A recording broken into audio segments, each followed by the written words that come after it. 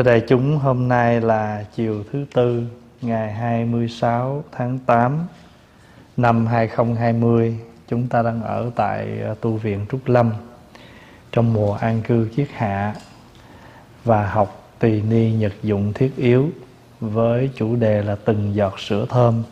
Chiều nay là kỳ thứ 58 đại chúng có khỏe không? Thưa hôm nay chúng ta học bài mới ở trang 24 bài này có tên là một dục. Nếu bản online là bài thứ 44 Bài này là một cái việc mà chúng ta sẽ làm mỗi ngày. Chữ mộc á, là gọi Chữ dục là tắm. Nói theo tiếng Việt là tắm gọi Tắm là mình xối nước lên. Còn gọi là mình dùng tay mình kỳ cọ mình à, gội đầu chà thân.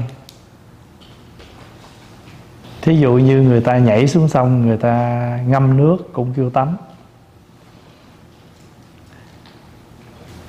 Chữ tắm là tiếng tiếng Việt Nam mà tiếng Hán gọi là dục cho nên à, lễ Phật đản á, còn được gọi là dục Phật. Lễ dục Phật nghĩa là tắm Phật. Lễ đó là lễ tắm Phật. Không có gọi. Lấy nước à, rưới lên thân của Phật thôi. Thì đây là một trong những cái việc mà người à, con người chúng ta thường làm. Thời xưa thời của Phật á vì à, nước hiếm cho nên chư tăng rất ít tắm. Có khi 3 tháng mới tắm một lần. Tại vì à, tắm nhiều mất thời gian. Tắm rửa là một cái hình thức à, tẩy trừ cái làm cho cái thân mình nó sạch. Rồi có nhiều người người ta mất thời gian nhiều quá cho tắm có nhiều người vô tắm mất cả tiếng đồng hồ thì người xuất gia thì chúng ta không làm như vậy. Chúng ta đi tắm. Làm sao chúng ta đủ thời gian để à, kỳ kỳ rửa thân thể, đủ sạch rồi mình đi ra. Không lấy cái việc tắm rửa như một hình thức enjoy. Có nhiều người người ta có cái bồn tắm, người ta mở nước rồi người ta vô đó người ta ngâm, người ta enjoy. Thì rồi chúng ta thì à, cái hình thức của mình là đi tắm mục đích là để cho sạch sẽ thân thể. Chữ thân á, nghĩa là đất, nước, gió, lửa, bốn đại hợp lại gọi là thân. Hiện ra cái tướng gọi là thể, cho nên gọi là thân thể. Hiểu ý không? Thân là do đất, nước, gió, lửa hợp thành. Thể là nó hiện ra cái tướng để mình thấy. Thí dụ như cái ly này là thể nè. Đó cái thể là cái tướng của nó. Cho nên thường gọi là thân thể. Hồi đó thì có khi là nửa tháng tắm một lần tùy theo cái nhu cầu. Nhưng mà thường thì ít khi nào chúng ta nghe nói mỗi ngày mỗi tắm. Thì có thời gian á, ở bên Trung Quốc á, các thầy thường là ở trên núi. Mà trên núi thì nước rất là hiếm mà trời rất là lạnh vì vậy cho nên là ít tắm. À, vì ít tắm cho nên nó sợ những cái những cái dơ trong người mình nó rơi rụng sẽ làm dơ đi Phật điện.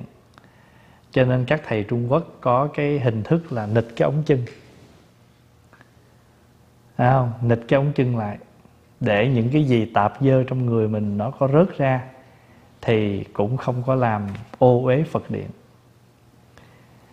Ở ngày nay Phật giáo Việt Nam thì chúng ta không có ăn bận theo người Trung Hoa. À, chúng ta chỉ nịch ống chân khi lên làm lễ thôi. Mà hầu như bây giờ một số các nơi cũng không làm. À, với lý do là những cái những cái áo quần mình nó cũng kín đáo rồi. Chứ ngày xưa thì không, cho nên là các vị phải nịch ống chân thầy thấy là các chùa ni còn giữ à, có một số thì cũng còn giữ nhưng mà phần lớn thì chúng ta lượt cái phần đó. Thì vậy cho nên mình biết là lấy cái hình thức tẩy rửa cái thân để nhắc nhở chúng ta là chúng ta phải kỳ rửa cái tâm thức của mình. Có nhiều khi mình vô mình tắm mình xối nước không đâu sạch buộc lòng phải lấy tay mình kỳ. Hay có một cái vật gì đó mình kỳ cho nó sạch thì cái người tu của mình cũng vậy. Nếu mình chỉ tu xối nước thôi, cái kiểu như hình tướng thôi, thì nó chỉ phớt cái bóng vậy mà nó không thể hiện được cái cái sạch. Cái gì mà nó bám lâu ngày mà không kỳ là nó không ra. Cái tâm của mình lâu ngày nó bám những cái bụi phiền não mình không kỳ, nó không sạch. Vì vậy cho nên á, cái sự mà, cái sự tu tập á không phải chỉ là cái hình thức mà chúng ta cần phải làm thật kỹ để cái cái việc đó nó thể hiện một cách đúng đắn. Ví dụ mình lên mình tụng kinh, người ta ngồi, người ta vẫn thấy mình ngồi tụng đó, nhưng mà cái tâm mình không tụng.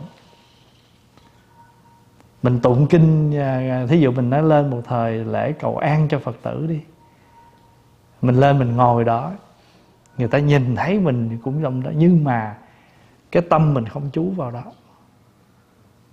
Thì làm sao nó phát ra được cái năng lực? Tại vì tâm mình không tiếp xúc. Cho nên khi mình mình cái vị nào mà người ta lên tụng kinh mà người ta chú ý ta thành tâm á ta không có liếc ngó hai bên. Người thậm chí người ta không có cười giỡn. Người ta ngồi tụng rất là nghiêm túc. Nhất là những cái đàn tràng cầu nguyện cho nên bây giờ đàn tràng thì lập cũng nhiều lắm. Nhưng mà các vị kinh sư có nghiêm túc hay không? Có trang nghiêm hay không?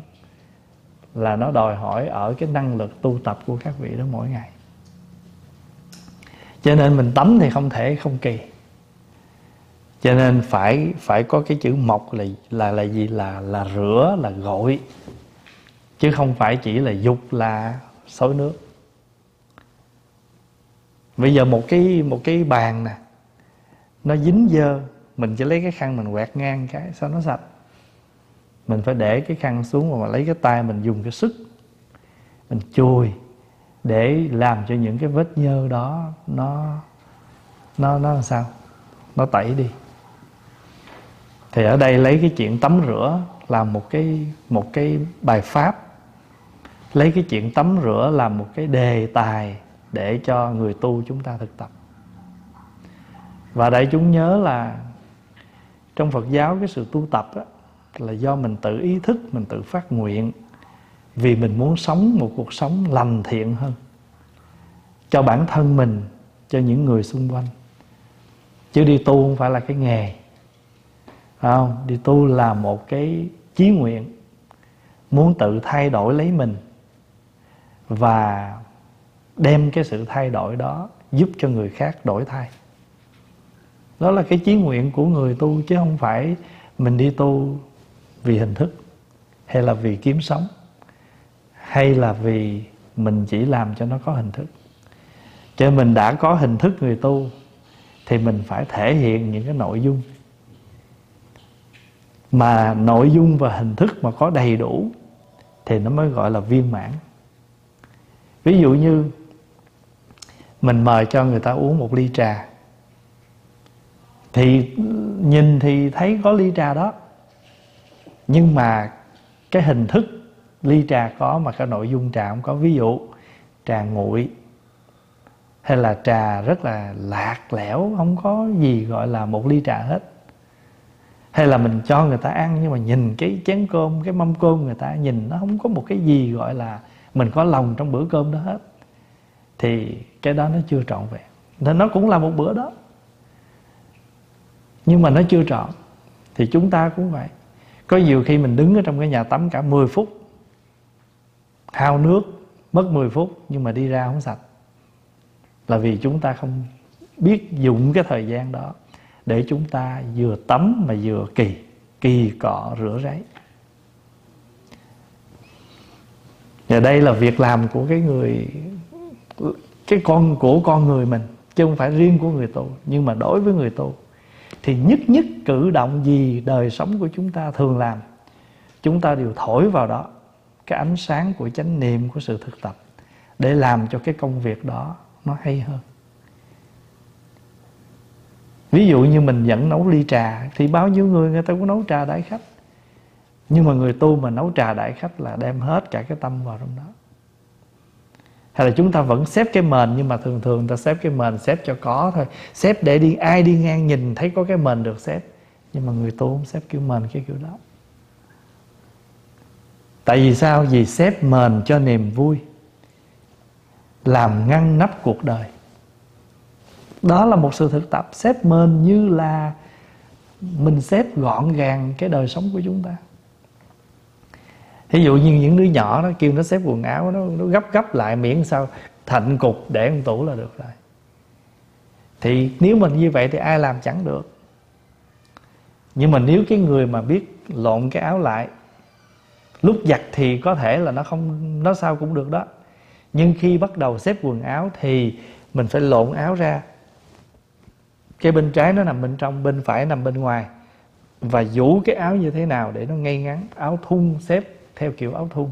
Áo đồ bộ, xếp theo đồ bộ. Áo tràng, xếp theo tràng. Cái áo nào mình phải xếp nó đúng cái mức ngăn nắp của cái mức đó.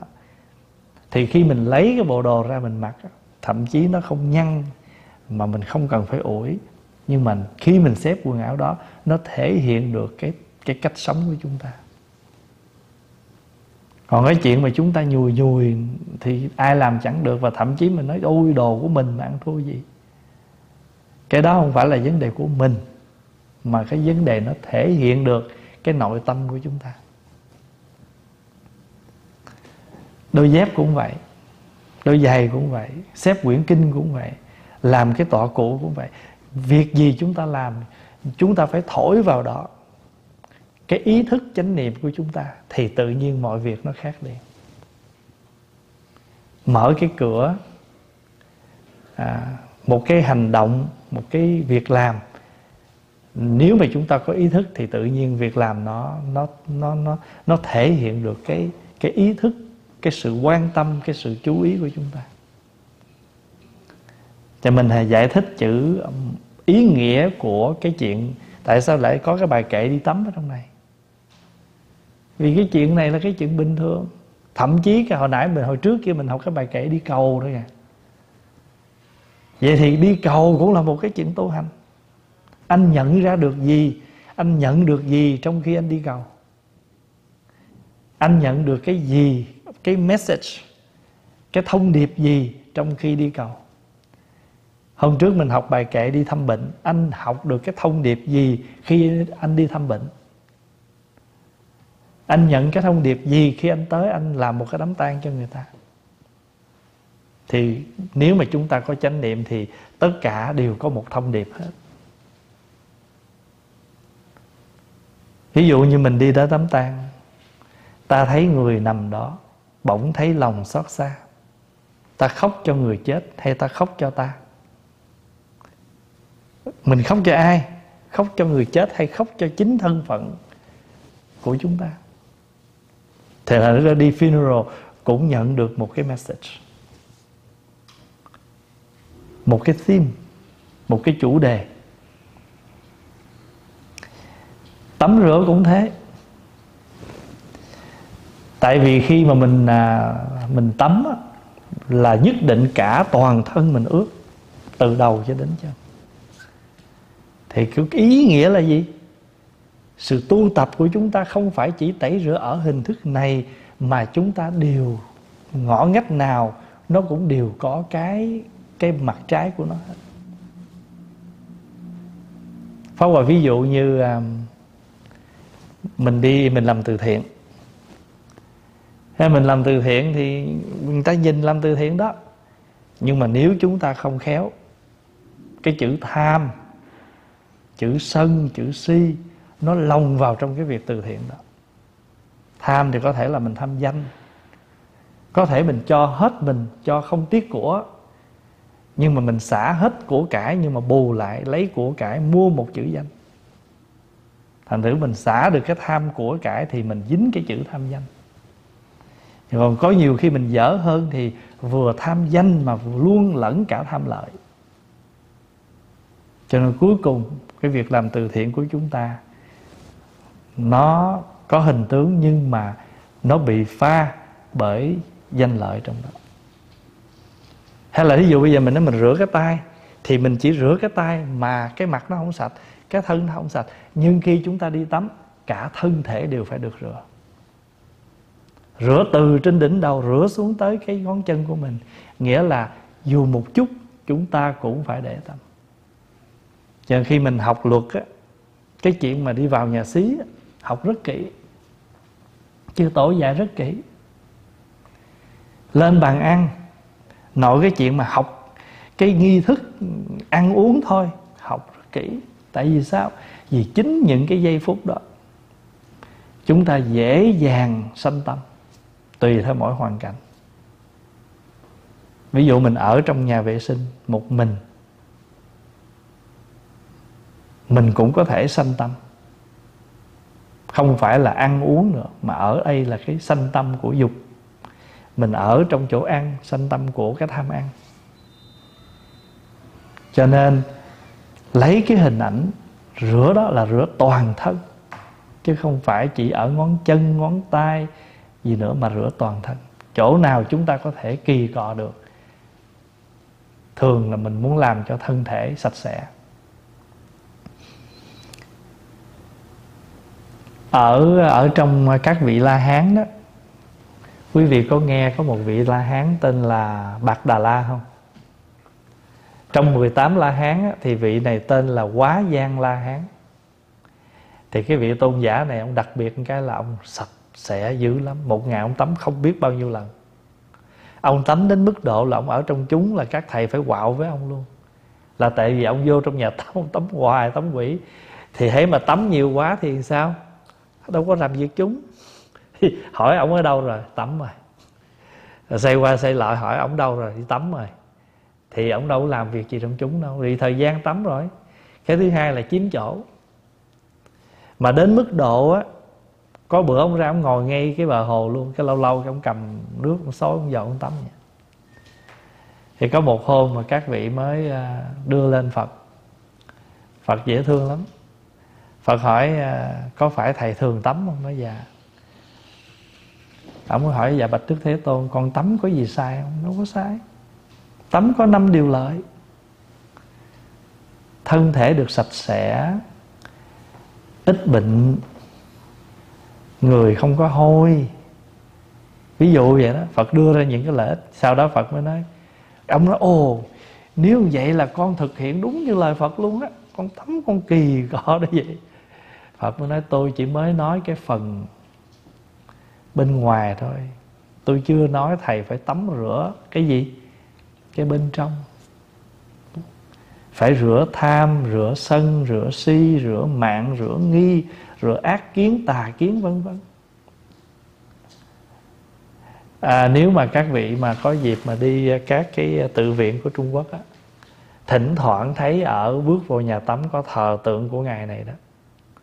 Tại vì ông thầy này ông chứng được cái chỗ gọi là ông rất là có bài bản trong việc tắm rửa cho nên ông dạy. Ông dạy cho các vị tắm rửa mà đúng bài bản để không sanh bệnh. Ví dụ như à, thường à, mình tắm à, nước lạnh quá cũng dễ sanh bệnh. Hay là nước nóng quá thì dễ khô da. Cho nên phải pha nước cho vừa chừng. Hay thí dụ vậy.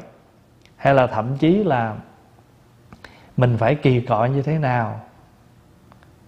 Thì cái vị này đi dạy cho các thầy trong chúng.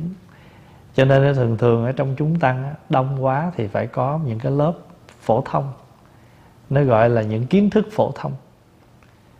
Ví dụ như ngày nay ít nhất chúng ta phải biết được cái cái cái chuyện là gọi là gì? Kiến thức phổ thông như là cách trình bày một lá thơ gửi đi thường thường mình viết một lá thơ, người gửi cái địa chỉ nằm ở đâu? Cái người nhận địa chỉ nằm ở đâu? Và ghi như thế nào để người ta nhận biết được cái địa chỉ? À, cái số nhà như thế nào, phải viết như thế nào?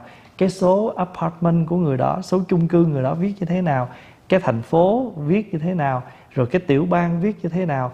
Cái zip code, cái hộp thơ viết như thế nào? Và cuối cùng cái nước của cái lá thơ này sẽ được gửi tới, nó được trình bày ở đâu? Và phải viết như thế nào để người ta nhìn vô là người ta không phải mất thời gian. Ví dụ vậy. Đó là những cái chuyện phổ thông. Hay là mình trình bày một lá thơ, gửi đi, mình viết một cái bản thông báo. Đó là những kiến thức phổ thông về hành chánh mà các thầy, các cô cũng phải biết. Tại nếu chúng ta còn trẻ, chúng ta có khi làm việc văn phòng. Có nhiều khi mình à, thậm chí bây giờ ở đây người ta gửi tới cho mình một lá thơ. Có nhiều khi mình à, quan niệm miễn sao xé cái thơ ra được rồi. Pháp Hòa là đại kỵ vụ đó. Mình xé một lá thơ như thế nào Mà mình nhìn cái lá thơ đó Mà mình còn Ví dụ mà lỡ cái lá thơ đó quan trọng Mình còn lưu lại được. Trời đất ơi Xé tha, nát bét ra hết trơn. Rồi tới hồi muốn lưu lại Cái không còn cái bao thơ Cái bao thơ nó, nó đâu có giữ được cái thơ đó. Cái lúc đó phải đi kiếm băng keo Phải dán cái thơ lại. Mà ngay cái giây phút đó thôi Là thấy chúng ta không có ý thức trong vấn đề xé thơ. Còn tốt nhất là đem nên kiếm cái kéo cắt cái đầu thơ cho đàng hoàng. Mà cắt cái chỗ mà người ta rút ra tự nhiên cái tháo thơ tại vì cắt ngay đầu này. Thờ thôi cũng không sao mỗi người có một thói quen coi thơ nhưng mà ít nhất mình mình biết rằng có những lá thơ sau khi đọc xong phải lưu lại. Cho nên mình phải cắt như thế nào để mình còn có cái bao thơ của cái lá thơ đó, mình giữ nó lại. Cho nên ăn cũng vậy, hay là ngay cả cái người nấu ăn, mình cũng phải có kiến thức về thức ăn. Trong một bữa ăn mà toàn đồ nhiệt không, mà ăn xong chúng nổi mụn hết đau cổ khang tiếng hết. Cho nên mình mình nấu bữa ăn nó cũng phải có hòa quyện ở trong đó. Cái gì ăn với cái gì cho nó hợp. Nó có hết chứ. Chứ đâu phải tự nhiên, phải không? Cho nên một bữa ăn mà cái người mà ta ăn mà ta nghiên cứu kỹ đó, ngũ hành âm dương nó nằm ở ở trong bữa ăn hết đó đó là những kiến thức. Thì cái vị tôn giả Bạc Đà La, chúng ta thường gọi là quá Giang La Hán, ông là một trong 18 vị La Hán mà mình thấy các chùa mà hay để ta trưng bày 18 tượng La Hán, ta hay để tượng đó.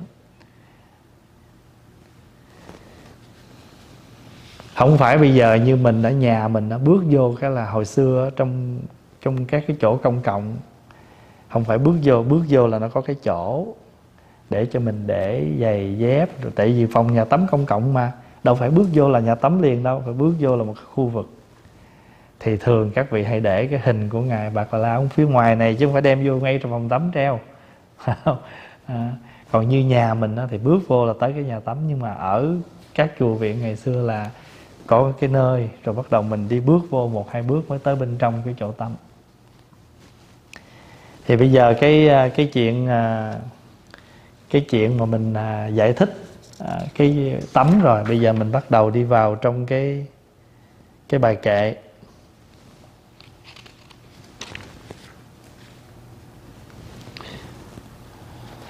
Mộc dục tẩy dục thân thể. Hồi nãy giải thích chữ thân thể rồi ha. Đất nước gió lửa hợp lại gọi là thân. Hiện ra cái sắc bên ngoài để mình thấy gọi là thể tẩy dục thân thể là là tắm gội cái thân thể của mình, cái hình hài của mình. Cầu cho chúng sanh thân tâm vô cấu. Thân tâm vô cấu. Thật ra thật ra cái thân và cái tâm của mình vốn nó không có dơ gì hết á nhưng mà tại vì, ví dụ ha, ví dụ nè. Thí dụ bây giờ mình à, một ngày mình à, một ngày mình không có làm gì hết, thì thân mình đâu có dơ. Mà bản chất thân thì nó phải dơ rồi, nhưng mà ở đây mình cái ví dụ, hôm nào mình, cho dù mình mới tắm ra, nhưng mình khiêng, mình giác, mình làm việc nặng nhọc, thì bắt đầu, người bắt đầu nó mới dơ lại. Thì ở đây cũng vậy, cái tâm của mình vốn nó không dơ nhưng mà tại vì chúng ta có tiếp xúc,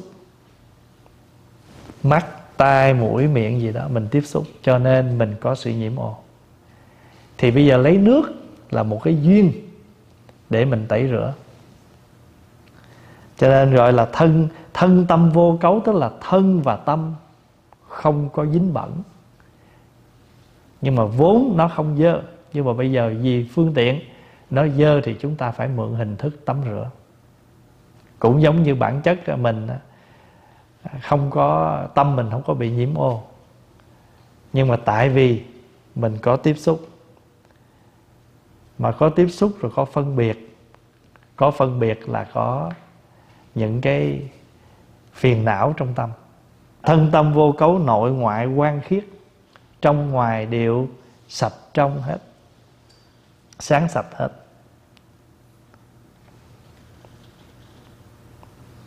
Ở trong kinh à, có kể câu chuyện á, là đức phật à, giáo hóa cho các vị à, ngoại đạo.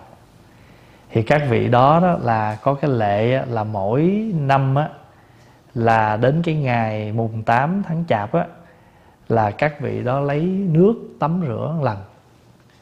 Vì để cảm ơn cảm kích cho nên các vị đó cũng xin đức phật cho mỗi năm tắm rửa tắm xối nước tắm lần ở bên thái lan á, nó có cái lễ dội nước. Mà cái khi mà dội nước như vậy là chúc mừng. Thí dụ cái ngày đó là nhà nào cũng chuẩn bị nước hết á. Người ta đi ngang mình không cần quen không quen gì cứ lấy nước tạt người ta. Mà ngày đó không ai la mình được hết á.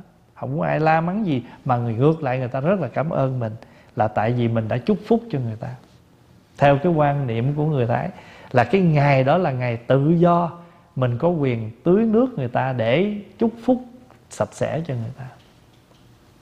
Thì ở bên à, hồi hồi hồi hồi đó mình đọc ở trong kinh thiện ác nhân quả đó, mình cứ thắc mắc cái chỗ này hoài, xối nước tắm cho chư tăng là sao?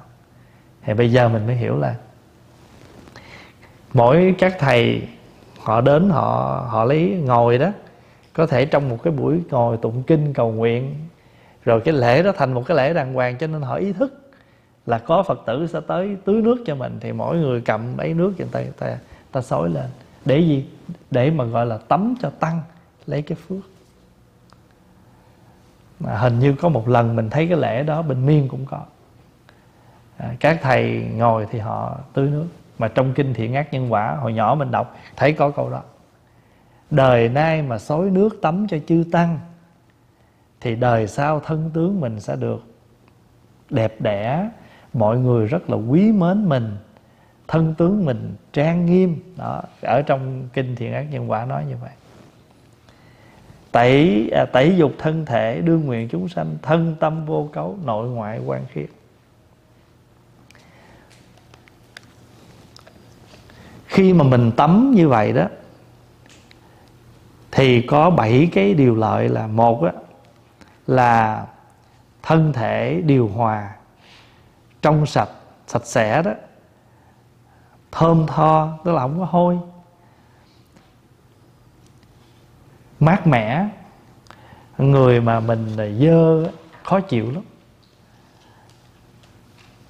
Người mà nó sạch thì tự nhiên mình nhẹ thấy trong người mình nó nhẹ ra.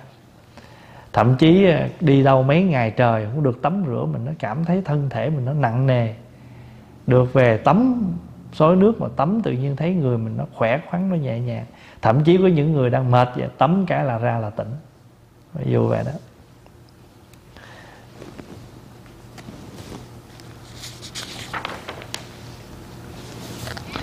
Bây giờ mình đi tới bài kệ tẩy túc. Trước khi qua bài kệ tẩy túc thì à, cái bài kệ mà của sông làng mai viết để tắm là không sinh cũng không diệt, không trước cũng không sau, trao truyền và tiếp thọ pháp giới tính nhiệm màu. Đây là lấy cái ý trong bát nhã tâm kinh đó. Không sinh cũng không diệt, không trước cũng không sao thí dụ mình thấy chỗ, mình thấy cái này nó sinh chứ thật sự đâu sinh gì đâu mình thấy nó diệt chứ đâu diệt gì đâu. Như cái cọng rau đó mình cắt nó đi. Mình thấy nó diệt nhưng mà thiệt sự ra mình cắt cái đó cái nó tiếp nối. Rồi mình ăn cái cọng rau nó ra nó thành rạ phân bón tiếp tục nó nuôi. Rồi bây giờ cái cọng rau đó nó, nó luân hồi ở trong cơ thể mình nó nuôi con người mình. Phải không? Thì bây giờ cọng rau đó nó đi nó đi qua trên cơ thể mình nó luân hồi trong cơ thể mình cho nên đó là một sự trao truyền và tiếp thọ. Tại bây giờ, ví dụ bây giờ Pháp Hòa hướng dẫn cho đại chúng, Mai mốt Pháp Hòa có chết đi, Nếu quý vị có nhận được một điều gì đó, Thì quý vị sống với cái đó. Thì cái đó là gì? Trao truyền và tiếp thọ. Thầy Pháp Hòa không có chết. Thầy Pháp Hòa chỉ chết cái hình thể thôi. Nhưng mà bây giờ Thầy Pháp Hòa luân hồi Ở trong những ai đã có cơ duyên Cơ duyên với mình. Ví dụ ông nội mình, Hồi nhỏ dạy mình như vậy đó, Giờ ông nội chết hai chục năm rồi. Nhưng mà lời dạy đó mình vẫn thực hiện. Thì mình biết rằng Mình là tiếp nối của ông nội, Chứ ông nội không có chết. Còn cái chuyện mà có thân thể phải chết Là phải chết thôi. Nhưng mà Cái hình ảnh đó, Nó không mất ở trong mỗi người chúng ta. Đó là bài kệ Pháp giới tính nhiệm màu, Là cái cái tánh của Pháp giới đó. Cái tánh mà mà mà mà luân lưu đó rất nhiệm màu. Ví dụ bây giờ mình uống ly nước nè. Mình có đang uống một đám mây không? Nếu mình với cái nhìn mà cho cho kỹ đi, cái trong ly nước này có mây không? Có. Cho nên thí dụ mình nói mình nói, tôi đang uống một đám mây cũng được nữa. Tại vì nước nó bốc lên thành hơi, thành mây và mây nó rơi xuống làm nước rồi bây giờ mình làm ra nước trà. Vậy thì trong ly nước của mình có mây Trong cọng rau của mình có đất. Trên con người chúng ta có đất. Tại vì chúng ta có ăn những cái vật thực do đất. Thí dụ như con bò, Nó ăn cỏ. Con bò nó ăn cỏ. Rồi có người ăn con thịt con bò. Thành thử ra Tất cả nó đều có ở trong đó hết. Cho nên cái cái câu tiếng anh đó mình ăn một miếng bánh mì là mình ăn cả tất cả. Có đất, có có mây, có nắng ở trong đó. Bây giờ mình qua cái bài kệ tẩy túc. Tẩy là rửa, túc là chân các vị ở bên ấn độ không có mang dép đi chân không. Cho nên mỗi khi mà người ta đến đâu á có tính cách sạch sẽ thì người ta có cái chỗ để rửa chân.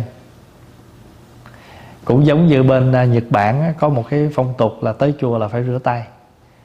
Cho nên khi mà người ta xây chùa là nhất định ở bên trước cái đường đi vô chùa hai bên cửa phải có hai cái bồn nước và có để hai cái gáo và tất cả mọi người trước khi vô lễ Phật là phải rửa tay.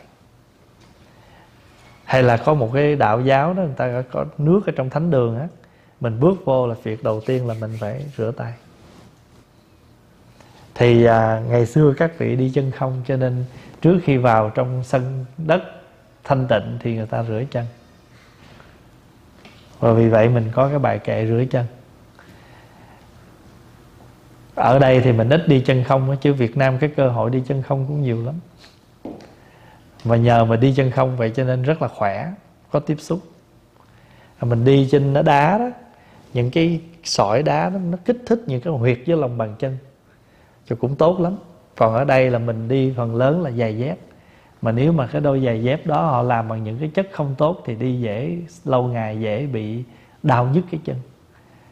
Cho nên ở bên Hàn bên Hàn Quốc có những con đường người ta làm ta để những ta không có cố tình là không tráng xi măng. Người ta làm người ta lót gạch để chi? Để mình đứng lên đó từ một cái đoạn đường dài đi vô chùa mà phải đi qua con đường đó mà đi bằng chân không. Để có cơ hội nó kích thích những cái huyệt dưới lòng bàn chân. Ở đây bây giờ người ta còn bán những đôi dép đó, có gai như vậy đó. Mình đi mình đạp lên để nó kích thích làm cho cái lòng bàn chân mình không có bị đau nhức và thậm chí những người nào mà ta đau nhức quá thì cái người ta làm gì? Ta bấm huyệt, ta bấm vô đó. Thì thay vì mình bấm huyệt thì mình kiếm những đôi dép, nó có gai như vậy để mình đi. Nó kích thích cái lòng bàn chân, làm cho cái lòng bàn chân mình nó nó nó khỏe, nó ít bệnh. Nhược cử ư túc. Cái dưới cái chân mình ở dưới cái thân gọi là chân. Mà chữ chân nó còn có nghĩa gì? Chữ chân nó nghĩa là gì? Cái chữ chân nó có nghĩa là phần cuối. Hết rồi. Nguyên cái thân này từ trên này xuống tới dưới tận cùng rồi. Thì đó là the end. Nó là nó là cái chỗ cuối nhất của thân thể chứ gọi là chân. Chân nghĩa là thôi dứt. Nghĩa nó là cái phần cuối của thân. Đức phật á, ở dưới lòng bàn chân ngài có cái những cái lằn chỉ như cái bánh xe vậy đó. Cái chân á, nó biểu tượng cho sự đi lại. Thí dụ bây giờ mà cái chân mình khỏe, không đau bệnh nè, đi đâu cũng được. Đi bộ bao nhiêu cũng được, không có trở ngại. Ngồi bao nhiêu cũng không đau, đúng không? Chân mà đau thì đi nhiều cũng được, đứng nhiều không được đi nhiều lâu không được. Có nhiều người nó khổ cái cái lưng, cái chân mà nó đau ngồi lâu ngồi không được. Đứng lâu đứng không được. Thậm chí có nhiều người nằm lát cũng phải ngồi dậy hoặc trở mình chứ cơ thể mình nó bệnh, mà nhất là ở cái phần lưng chân thì tự nhiên mình không còn bình thường có người ngồi 5 phút phải đứng dậy. Hay là đứng 5 phút phải ngồi chứ không đứng lâu được.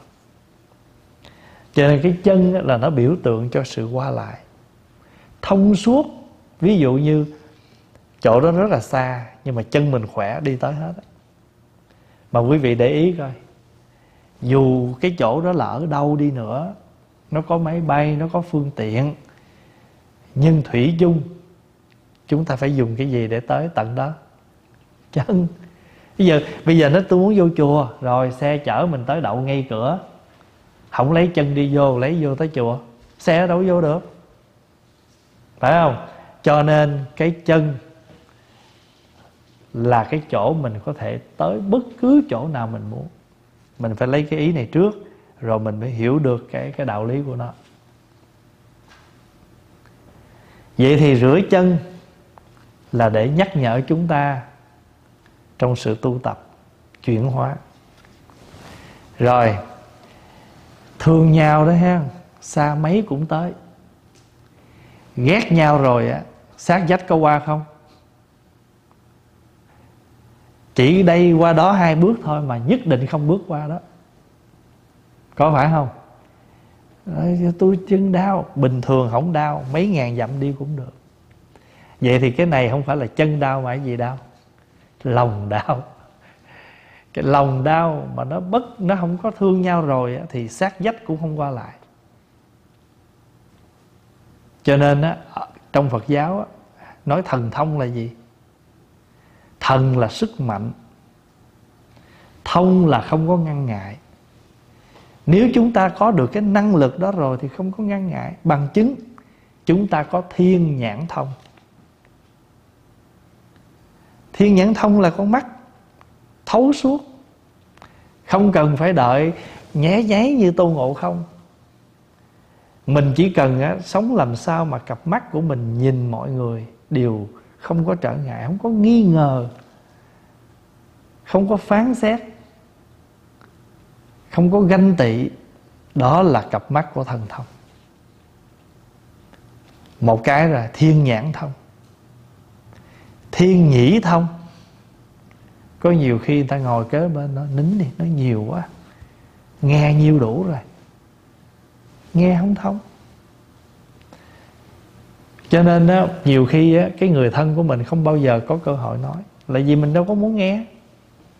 Và thậm chí người ta mới nói được mấy câu là mình đã vội mình phán một câu rồi tôi biết rồi nói nhiêu tôi hiểu rồi tôi dư hiểu rồi. À có nhiều khi mình còn còn tự hào cái là mình dư hiểu nhưng mà rốt cuộc không hiểu gì hết. Có khi cái hiểu của mình nó tới đó cho nên mình giận dữ vậy đó. Sao mình không ngồi yên mình để cho ta nói đi? Ta nói đến tận cùng tới cái chân của câu chuyện đó, cái túc của câu chuyện, cái chân đó đó. Chúng ta thông liền. Ồ, thì ra nó còn khúc đuôi nữa mà tôi không biết ha. Hiểu được cái chỗ đó không? Cho nên nhiều khi mình hiểu được cái đỉnh, mình hiểu được cái giữa mà mình chưa hiểu được cái lòng ở dưới, cái lòng bằng chân ở dưới. Mà cái lòng bằng chân đó nó thông rồi, nó túc vô ngại.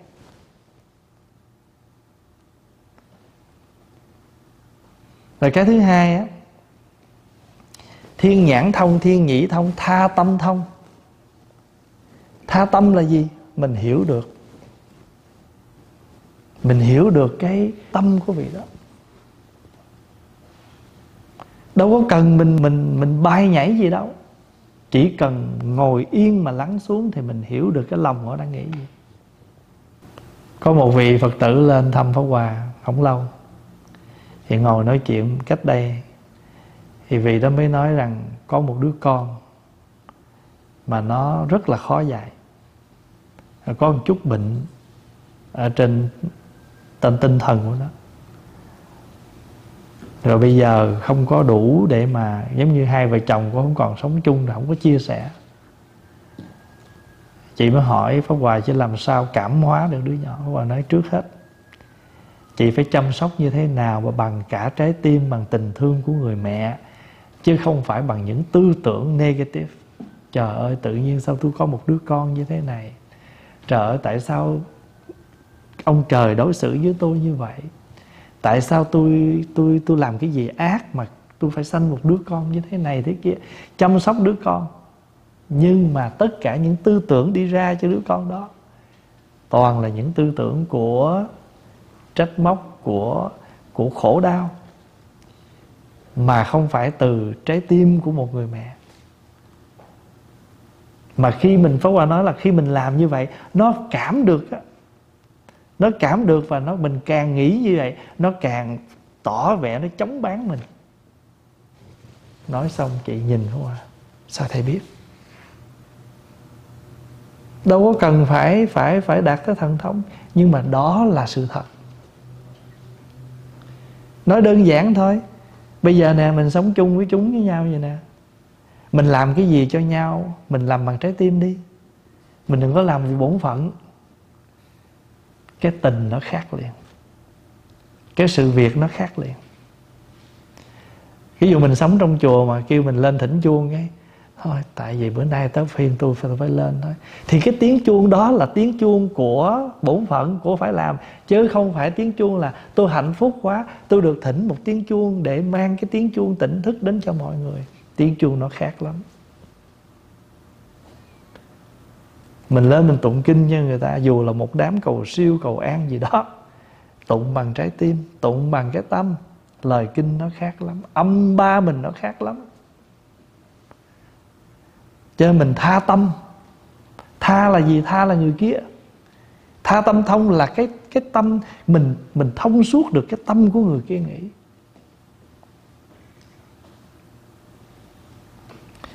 Thiên nhãn thông, thiên nhĩ thông, tha tâm thông, thần túc thông. Đấy cái thông này nè. Thần túc là gì?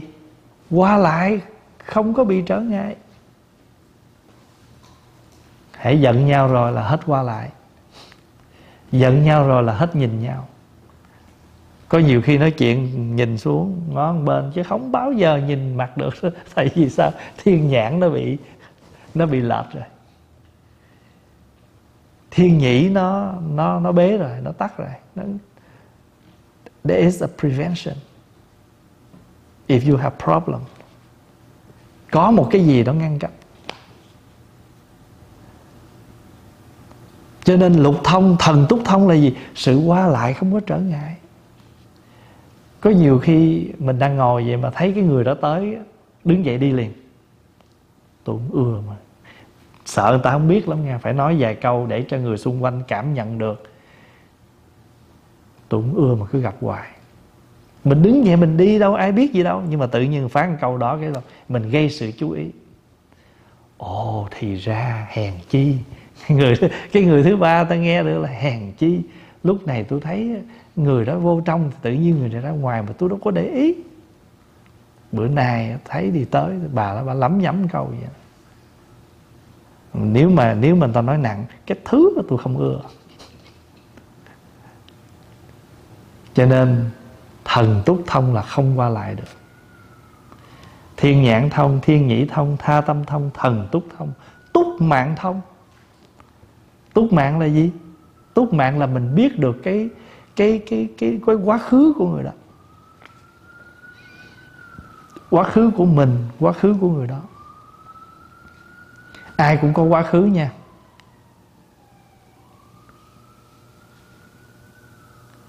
Ai cũng có quá khứ. Quá khứ đẹp, quá khứ không đẹp. Có những quá khứ khổ đau. Và chính cái quá khứ khổ đau đó nó biến người đó trở thành một con người như thế này. Mình không biết được, mình chỉ gặp người đó ngay trong khoảng này. Mình thấy người này sao lạ quá.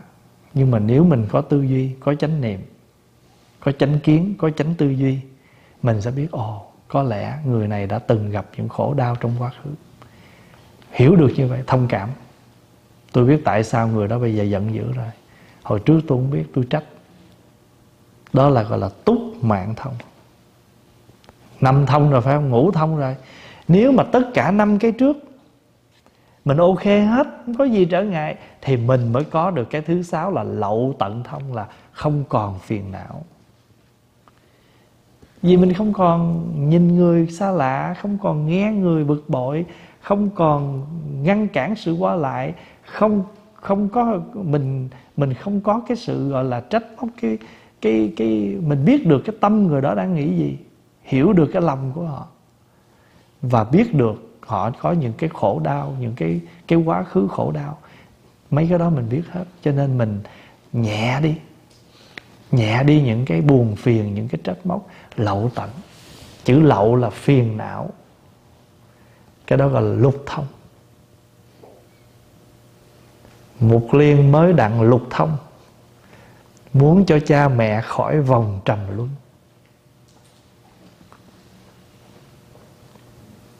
Ờ, Đức Phật ngồi dưới cây bồ đề, Phật chứng lục thông. Thật sự chứng là gì? Là nhận ra. Chữ chứng đạo là gì? Nhận ra được con đường. Nhận ra được con đường gọi là chứng chứ gì đâu Này, Bây giờ đại chúng ngồi không ai chứng gì hết Pháp Hòa cầm ly nước lên và uống nè. Thơm như thế nào? Đắng như thế nào? Ngọt như thế nào? Lạnh nóng như thế nào? Chỉ có Pháp Hòa biết thôi. Chỉ có Pháp Hòa mới chứng được ly nước này thôi. Người Bắc á, mời mình uống nước á, Và con mời thầy chứng nước. Mình người ta nói sơi nước á, là chuyện thường nhưng mà ta dùng tới chữ chứng nước nghĩa là chậu chứng đó đó. Như nhân ẩm thủy lãnh noãn tự tri như người uống nước lạnh nóng tự biết ai biết cho mình? Cho nên hỏi à, hỏi tu làm sao mình biết mình chứng? À, người khác đâu biết mình chứng. Mình mới biết mình chứng cỡ nào. Nhưng mà giờ mình chứng ngược không? Mình không phải chứng quả chứng thánh. Mà tu hỏi chứng mấy cái chướng càng tu càng thấy chướng. Bao nhiêu cái chướng nó, nó sinh ra.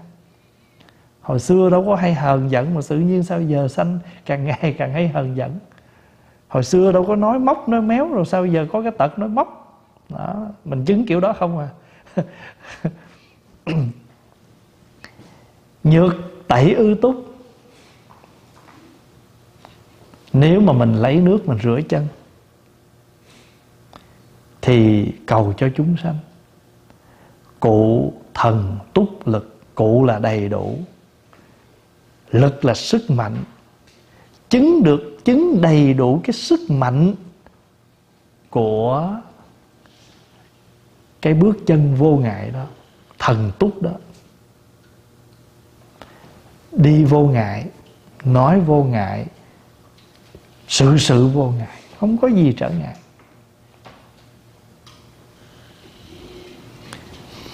Khi mà chúng ta tu á, chúng ta có hai phần một là hạnh, hai là giải. Hạnh là gì? Là practice. Giải là gì? Giải là lý lẽ. Là rõ biết. Hay nói đơn giản là understanding and practice. Anh hiểu việc là một chuyện. Anh có làm cái việc anh hiểu không? Tôi biết vợ tôi khổ, nhưng anh không làm gì cho vợ hết khổ hết, thì anh chưa phải là người có tình thương rộng lớn. Anh chưa thương vợ, anh mới có biết vợ khổ, mà anh không tìm cách giúp vợ hết khổ. Cho nên nếu người ta hỏi, hồi xưa có một vị hỏi vậy nè dạ thưa hòa thượng, thế nào gọi là một vị tổ? How can we call that person a patriarch, a master? Thì vị đó trả lời, hành giải tương ưng. Cái chỗ hiểu, chỗ làm cái, thực hiện cái mình hiểu biết, hai cái nó phải together, nó phải đi với nhau, mới gọi là tổ. Hành giải tương ưng.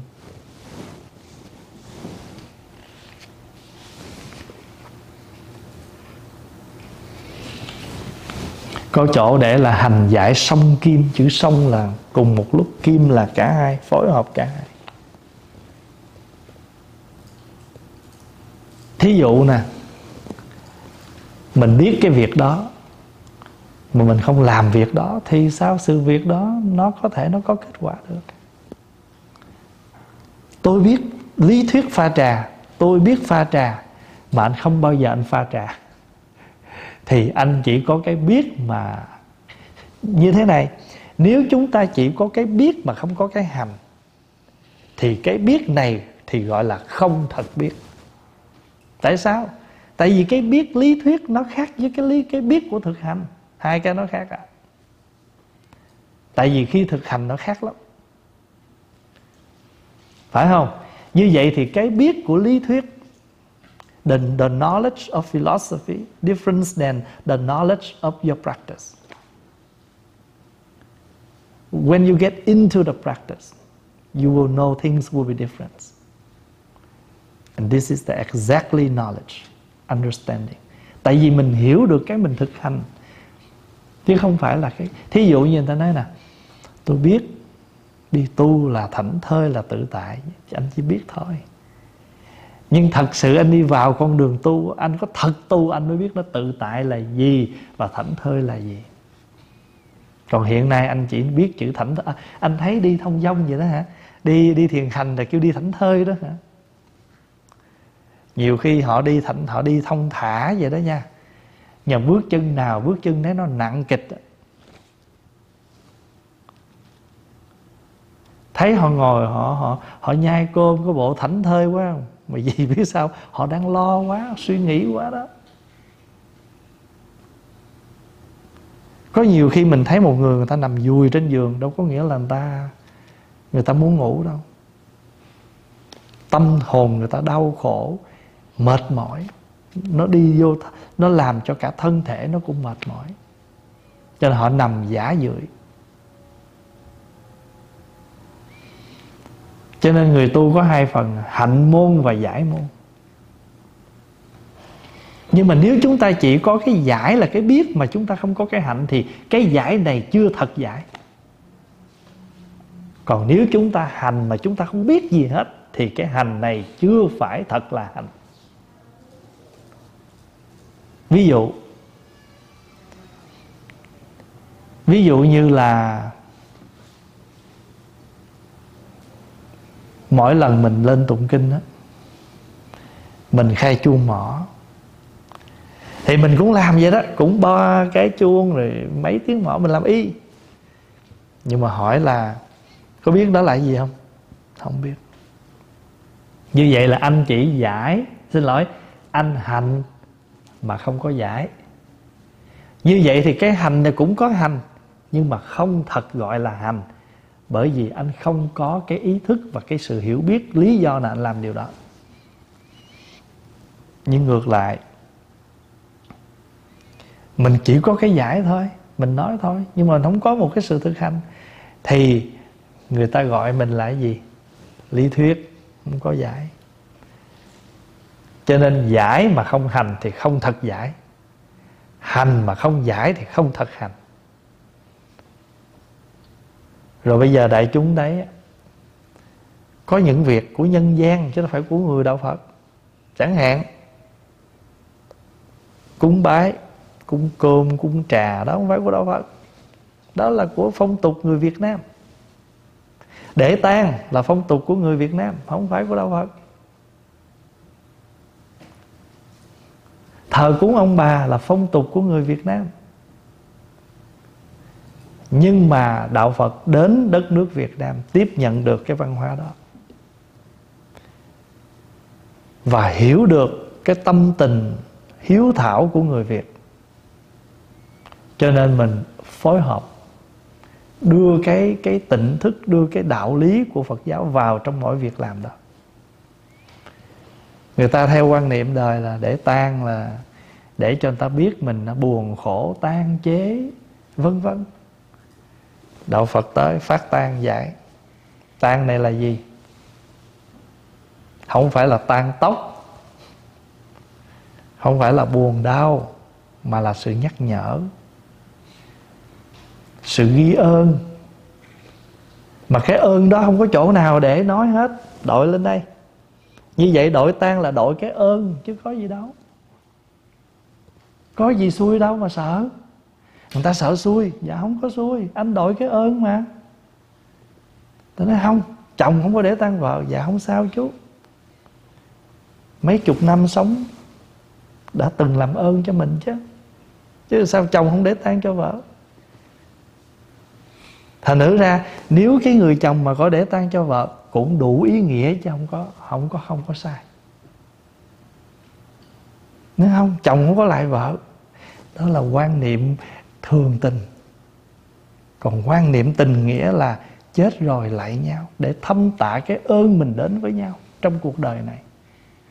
Mấy mươi năm sống, mới đầu gặp nhau thì tình, sống lâu sanh nghĩa. Cuối cùng tang lễ này là tình nghĩa của đời này trọn. Cho nên đội cái tang, anh lại vợ, có sao đâu. Con cháu để tang không có cử kiên gì trong tôn giáo hết. Nó tôi đạo đó tôi làm. Đạo nào cũng thế. Không có đạo nào mà dạy mình đi ngược cái đạo lý hết. Mà mình bỏ cái đó, đạo đó đạo ngược đời.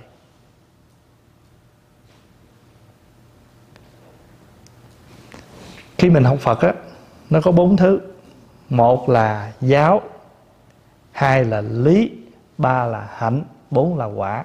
Giáo, lý, hạnh, quả. Giáo là gì? Là lời dạy. Learning.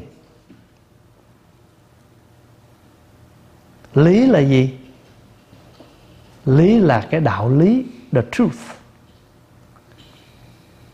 Mình học cái teachings, mình học cái the truth. Là, và là giáo, là lý. Mà trong giáo lý đó, nó phải có hành, tức là thực hành chứ không thể nói không. Mà anh hành thì nhất định sẽ có kết quả. Quả là gì? The fruit, the result. Vậy thì giáo lý của phật giáo nó đủ bốn tiêu chuẩn.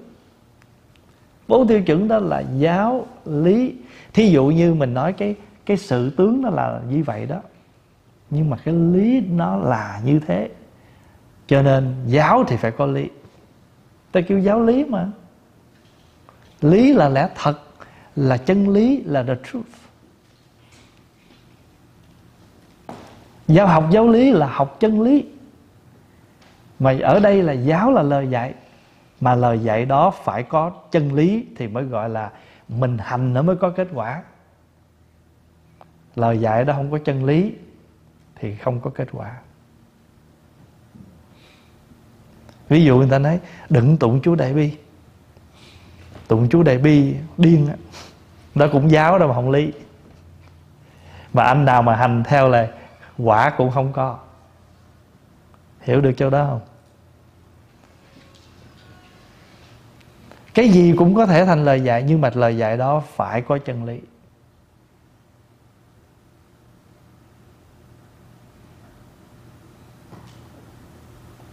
Có nhiều vị nói, ở nhà đừng có tụng kinh pháp hoa. À, tụng kinh pháp hoa là ở nhà xào xáo, ly tán là cũng giáo đó mà không lý. Cho cái việc làm gì của chúng ta phải có đủ bốn tiêu chuẩn. Anh dạy, nhưng mà trong lời dạy đó phải có đạo lý. Ví dụ như hai vợ chồng giận nhau, cũng không bao giờ dạy con đứng về phía mình mà chửi cha nó hay chửi mẹ nó. Tại vì lời dạy đó không mang chân lý. Rồi cuối cùng mình sẽ hối hận là vì mình đã dạy con mình cái tâm niệm hận thù mà cha nó mà nó còn hận kiểu đó, mẹ nó hận kiểu đó, thì trên đời này ai nó tha thứ? Cho nên trong cái lời dạy đó không có chân lý. Mà nếu nó thực hiện, thì nó cũng sẽ có kết quả mà kết quả xấu. Còn nếu chúng ta dạy có chân lý, nó thực hành và mang tới kết quả kết quả đó là kết quả tốt. Tương ưng như thế, tương ưng như thế, nó có cái trường hợp là giáo là tính, lý là giải. Nó có bốn cái khác được gọi là tính, giải, hành, chứng. Nó cũng tương như ở trên vậy đó. Chữ tính là gì? Là niềm tin. Giải là gì? Là hiểu biết. Anh tin cái điều đó thì anh mới hiểu biết được điều đó. Hay nói người anh hiểu được điều đó, anh mới khởi niềm tin tính giải, và hai cái cuối cùng là hành chứng. Chứng thì nó tương đồng với quả. Quả là kết quả, còn chứng là mình đạt được, là mình nhận, mình mình thành tựu được cái chỗ đó.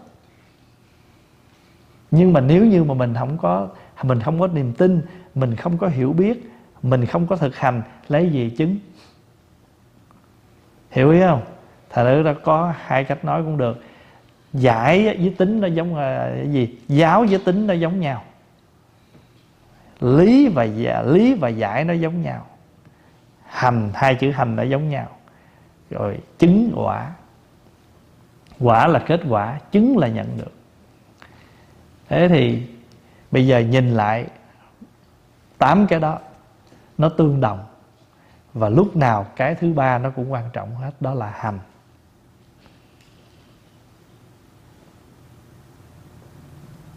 Cho nên dù việc nhỏ cũng vậy. Đó, bây giờ ví dụ mấy chú hôm nay hướng dẫn cho mấy chú nhỏ, mấy cô nhỏ học chuông mỏ đó. À, học đó là mới gì? Mới giáo à? Phải không? Rồi mình hiểu được tại sao phải làm như vậy như vậy. Gọi là lý. Rồi các anh phải về thực hành đi. Thực hành thường xuyên thì nó mới có kết quả là mai mốt mình sử dụng chuông mỏ một cách tài tình bất cứ tình huống nào, tụng niệm cỡ nào, chuông mỏ mình vẫn sử dụng được. Rồi thí dụ hiểu được như vậy rồi, phải không? Và hiểu sự, phải không? Bữa nào lỡ đi một cái trường hợp đó là không có chuông mỏ tụng được không? Cũng được. Anh phải chứng được cái chỗ là có thì tốt, không có cũng không là thiếu thốn. Cũng không là tội lỗi. Giống như cái bữa hôm đi đám tang về nhìn lên bàn thì chưa cúng ngọ mà. Cộng thêm là đợi gia chủ nữa. Mà bây giờ mình chờ gia chủ nữa thì trễ. Mà trễ à, chờ gia chủ thì lâu. Mà nếu mà nói là cúng ngọ thì sắp hết giờ. Thế là pháp hòa bắt tụng. Thầy huệ tạng đứng chuông mình đứng dưới này. Hai thầy trò cúng mà không cần chuông mở tụng vừa hết thời cúng ngọ, gia chủ về tới làm lễ nhập tự. Mình phải linh động và mình biết được giờ giấc thì cái việc làm của chúng ta làm đâu, cái kết quả nó có mặt. Ở đây mình không khoe nhưng mà để nói cho các thầy có được cái kinh nghiệm. Từ việc sống cho tới việc làm đạo. Thế thì hôm nay mình học cụ thần túc lực sở hành là gì? Chỗ qua, chỗ làm của chúng ta vô ngại. Nhớ không? Hồi nãy mình nói chữ hành đó. Chữ hành này với chữ hạnh nó giống nhau. Như vậy ở đây không muốn nói tới vấn đề sức mạnh của cái power, mà sức mạnh của nội tâm. Không phải là cái physical power, mà là cái gì? Spiritual power đây là thần túc của sự giáo hóa. Nếu lòng chúng ta muốn giáo hóa, tất cả mọi sự trở ngại chúng ta vượt được. Tâm chúng ta không muốn làm, thì không việc gì chúng ta làm được. Thật ra chúng sanh vô biên, độ sao hết.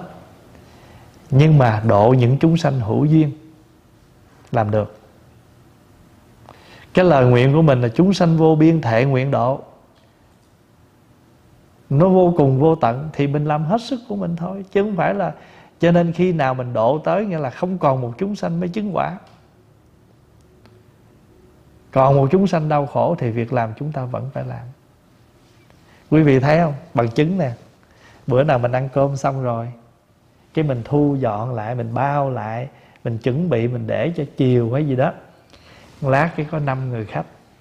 Lát ba người khách, lát bốn người khách, chiều lại, cái những thức ăn còn dư lại còn không? Không còn. Những lúc đó, thầy quán tu hết. Quán thành ra pháp tu hết. Chỉ cần mình còn thức ăn, chỉ còn cần chúng sanh có tới, mà tâm mình có rồi á, không có cũng biết ra có còn tâm mình không có rồi á một đống trong bếp á, nó hết rồi. Thật ra cái cái cái quan trọng là cái chỗ cái tâm thức của chúng ta. Cái chỗ vô ngại đó mình muốn làm á chịu cực mình vẫn làm được. Thí dụ như những những bữa mà qua bữa rồi thầy đâu dám nhờ ở dưới. Trừ khi nào xuống gặp thôi mà đích thân đi xuống. Không phải tại vì đó đặc biệt không ai cũng giống nhau nhưng mà quá giờ làm việc của cái vị bếp mà không có ai, mình tự làm. Ở trên tây thiên cũng vậy, nhiều khi khách nửa ngày ta xuống. Có ai dụ thì tốt, không có mình làm. Nhưng mà không vì, tại cái vị đó đặc biệt mình phải làm. Không phải. Mà đại chúng, nếu mà mình muốn kết duyên với chúng sanh, mình muốn hành đạo, khi nào tâm mình có được cái đó thì mình với chúng sanh mới vô ngại còn mình nó còn còn nhìn chúng sanh khác lạ lắm đó, thì mình còn có sự ngăn cách. Mà còn ngăn cách thì sở hành sẽ có ngại nhớ chỗ đó cụ thần túc lực sở hành vô ngại vì hai cái câu này chính là cái cái then chốt cái tâm yếu để chúng ta hành đạo. Cái bài kệ rất hay đó bài kệ rửa chân của sông làng mai rất đơn giản. Sự an lạc của ngón chân niềm an lạc của thân tâm. Một ngón chân nhỏ mà nó có dễ chịu rồi á thì sao? Cả thân thể này thoải mái. Đúng vậy thôi. Thử bữa nào mình đi đi đường mà đi, đi mở cái cửa lỡ cái ngón chân út mình đụng vô một cánh cửa nó đau điếng đi hay là nó làm mũ đi cả thân không khỏe. Phải không? Nói nói đơn giản chút xíu nè một chút xíu trong lòng mình thoải mái, cả thân tâm mình thoải mái. Một chút xíu mà tâm tâm mình dễ chịu, cả ngày mình an lạc. Một chút xíu mà thân tâm mình không thoải mái, cả ngày mình bực bội.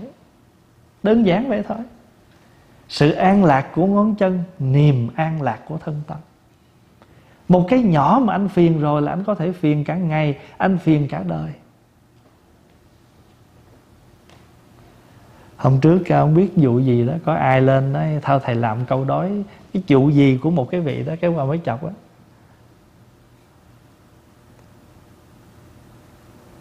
Một phút không tu, muôn kiếp khổ. Một giờ lầm lạc vạn ngày sầu một phút không tu, hay là một chút một chút, một phút không tu thì muôn kiếp khổ. Một ngày lâm lạc là vãng ngay sau. Một kiếp không tu, muôn kiếp khổ. Một giờ lầm lạc vãng ngày sau. Thôi chúng ta hồi hướng.